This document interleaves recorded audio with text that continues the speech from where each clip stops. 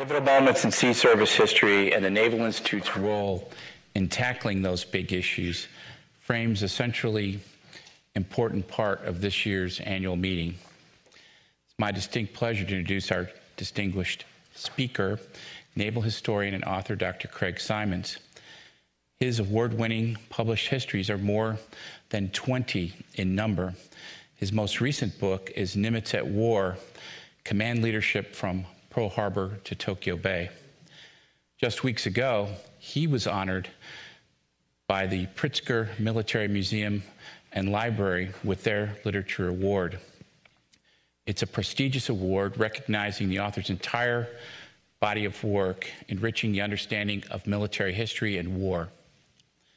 Dr. Symonds is an author of Naval Institute articles and books, including the masterful Naval Institute Historical Atlas of the U.S. Navy. From 1971 to 74, he served as a naval officer on active duty and indeed taught naval strategy as an ensign while on the staff and faculty of the Naval War College. In 1976, he joined the history department of the Naval Academy and progressed from assistant professor up to full professor of history, served four years as chairman of the department, and he was recognized with appointment as professor emeritus of the department upon his retirement from the Naval Academy in, in 2005. We're proud to have him as a member. Ladies and gentlemen, let's welcome Dr. Craig Symonds.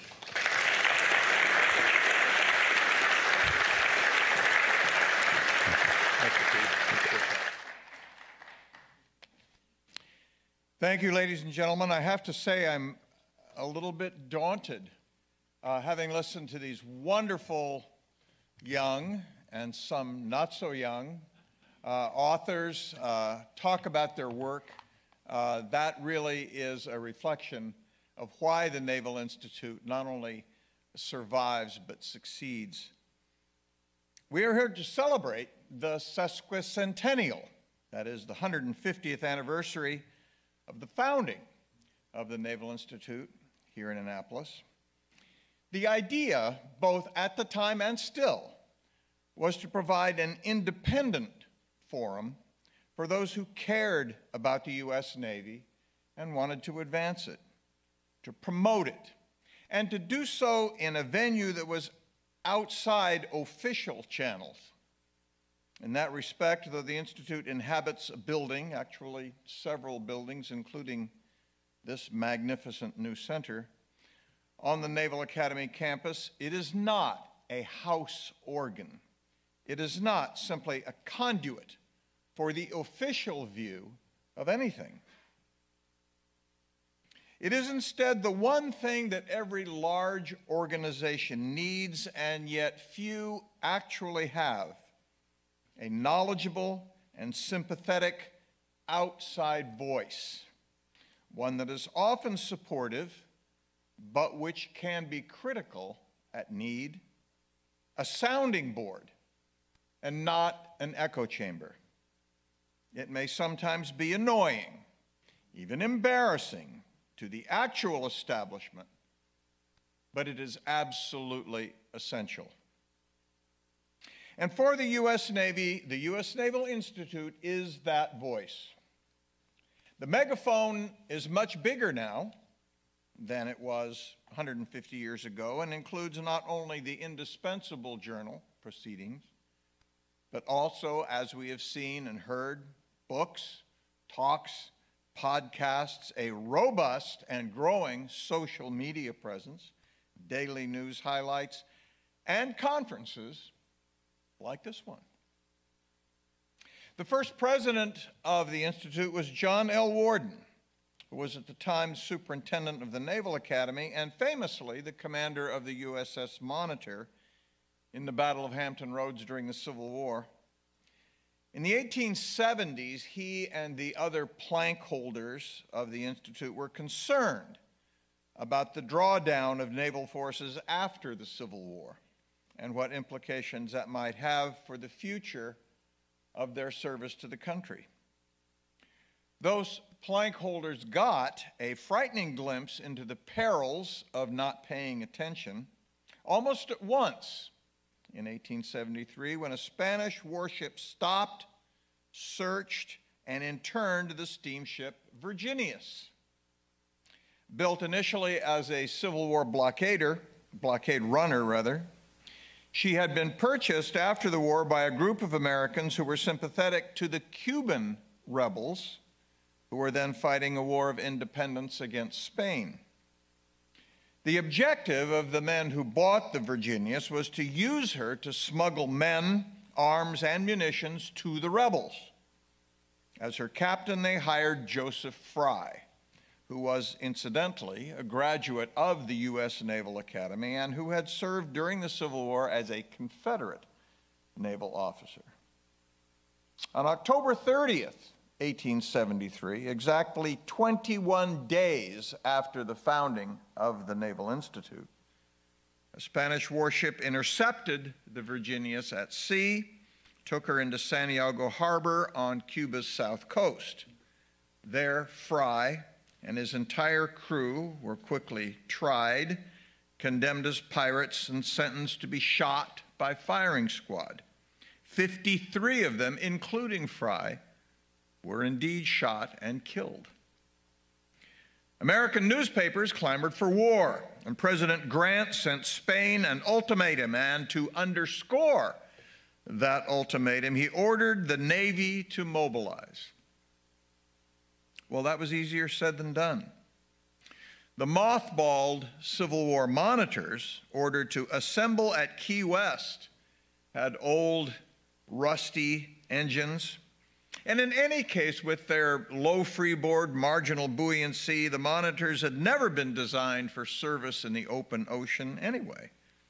And as a result, the mobilization of the American fleet at Key West proved more of an embarrassment than a threat. Now, in the end, the crisis of this so called Virginius affair was resolved without anyone going to war. Spain apologized paid an indemnity to the families of the slain, and the public temperament quickly cooled to re be replaced by other issues, including the opening of the West and the enforcement of the recently enacted Ku Klux Klan Act. To those who were paying attention, though, those like Worden and the others who founded the Naval Institute, this was a cautionary note evidence that the traditional American reaction to almost any crisis, going into it underprepared, furiously mobilizing, fighting the war, and then demobilizing just as fast, that this might not be a template suitable for the coming century. That, of course, had been the American way of war up to 1873. The size and capability of the U.S. Navy had fluctuated wildly since its birth in the late 18th century, adding ships and manpower for the Quasi War, the War of 1812, obviously the Civil War, then swiftly casting them aside with the return of peace. In 1861, for example, the United States Navy had a total of 42 active warships. Five years later, it had 671. Five years after that, it was back to 52. This fluctuation, this sine wave, if you would, of naval power is what Worden and the other founding members of the Institute worried about. And from that moment to this, the pages of the proceedings serve not only as a sounding board to consider the wisdom of peacetime naval policy, but also where the newest aspects of changing technology were considered, proposed, modified, adjusted. Sometimes that led to the adoption of a new platform. Sometimes it exposed the fallacy of an idea, which is just as important.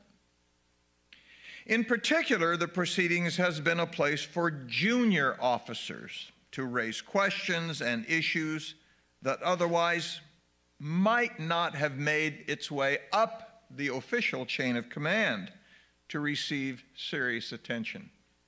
We heard from some of those young officers today. And look at who some of the others have been Lieutenant Bradley Fiske, Lieutenant, as we have heard, Ernest King, Lieutenant Chester Nimitz, Dudley Knox, William S. Pye, Hyman Rickover. The format of the proceedings has changed over the years. I've got a, uh, a show and tell here, I think. You've seen this one earlier today already. Here's the cover of the 1874 edition, actually published in 1875. Here is a cover from 1912. I know you can't read it from where you're sitting, but the lead article is about the practical use of submarines by a young lieutenant named Chester Nimitz. Here is one from the year I joined the U.S. Navy in 1971, and here, of course, is the most recent issue. In many ways, the Institute and the proceedings in particular are a mirror, one that reflects the issues of all kinds that dominate naval planning, policy, and performance, but it is a two way mirror. While it reflects contemporary issues, it also projects future possibilities, proposing, predicting, even propelling future platforms, policies, procedures. All of these issues, by the way, remain available today in bound copies. Now, I know a lot of people here access articles online, but I am old school. I like thumbing the bound volumes. I have often gone into the Nimitz Library here at the Academy, sat down to read a particular article from an old issue of the proceedings, and then as one article led to another, I get pulled down into the rabbit hole to a whole smorgasbord of ideas that show me what was being considered and thought and proposed at any given moment in the long history of the United States Navy. I'm currently working on the 1930s. And in the proceedings, I can read what Navy officers were thinking about in the 1930s. What naval warfare in the Pacific might look like should one come about. How to conduct amphibious landings on defended beaches. The future, if any, of naval aviation. And the broader implications of war itself. Here are officers often young officers, struggling with questions about the validity or the humanity of submarine warfare, aerial bombing of civilian targets, as well as more practical issues about targeting and dive angles. Sometimes I read about programs and platforms that ended up as dead ends. But they too show us the fluid character of naval thought. Here are the back and forth arguments about the relative merits of lighter than air dirigibles versus fixed wing aircraft. I mean, after all, dirigibles can stay aloft for days, not fixed wing aircraft. Are you sure that's the way you want to go? Much later, arguments about the relative merits of guns versus missiles for air defense. Absent these discussions, how much longer would it have taken the United States to perceive and, more importantly, respond to new realities? No doubt Navy officers would have thought about some of these things, maybe all of these things, even if the proceedings had never existed. But absent a platform to express those views and an audience to consider them and then to argue back in future articles, would they have had the kind of impact needed to effect change? We all remember the old riddle about a tree falling in the forest. Does it make a sound if no one is there to hear it? In the same way, does an idea in the mind of one man, one woman, make an impact absent a venue to share it.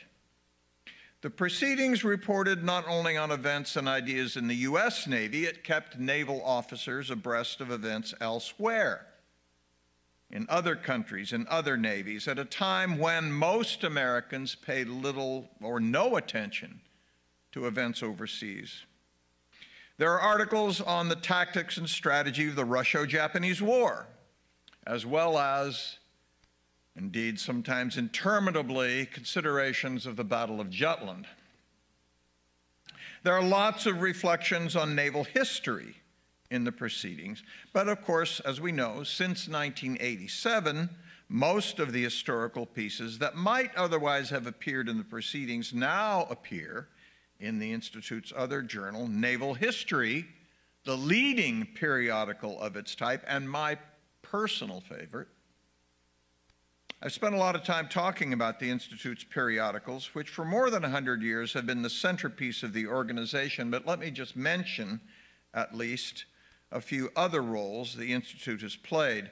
Now, you've seen this image already. I, uh, it was, stole my thunder a little bit.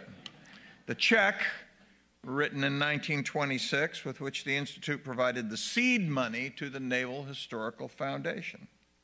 Todd Creekman sent me a copy of this in the hope that I would mention it. Here it is, Todd. I want you to note that it is for $1,000, real money in 1926. As an example of how much things have changed, though, here is a copy of the Blue Jackets Manual from 1917, another product of the Institute. I found this image on eBay. It's for sale for, can you guess? $1,000. In addition, of course, there is, as we have seen this afternoon, the Institute's book publishing arm, the Naval Institute Press. Founded in 1898, only 25 years after the organization itself, the press has published literally hundreds of books, none more important than the Blue Jackets Manual, first published, as Pete mentioned, in 1902, a copy of which was handed to me in boot camp in 1970, and a copy of which uh, is still being published today. I have to put up the one with Tom Cutler's name on it. He made me do this. The Naval Institute Press publishes many other professional books, many of which are also manuals of a sort, including the Petty Officer's Drill Book, the Manual of Wireless Telegraphy, and the Division Officer's Guide. Others have explored more philosophical topics, such as How Navies Fight by Frank Uhlig or Wayne Hughes' book on fleet tactics. The press has rescued a number of classics from out of date dustbins, including Julian Corbett's Principles of Maritime Strategy, J.C. Wylie's Military Strategy, and Samuel Eliot Morison's History of Naval Operations in World War II. And also, history books. I am a naval historian, and I am delighted, though no longer surprised, whenever I go into Nimitz Library looking for detailed information about a particular topic of naval history, I find that at least 85% of the books that I need to guide me are Naval Institute Press books. And while I'm speaking of books, this year the Naval Institute will release Dennis Cliff's new book. Here is the cover of that one, aptly entitled The Pen and the Sword, which goes into far more detail about the Naval Institute than I can here. So let me end by simply repeating what Captain Roy Smith said 100 years ago in 1923. With the possible, possible exception of the Naval War College at Newport, no other source has so greatly furthered the material development and professional advancement of the Navy than the Naval Institute. Congratulations to all of us.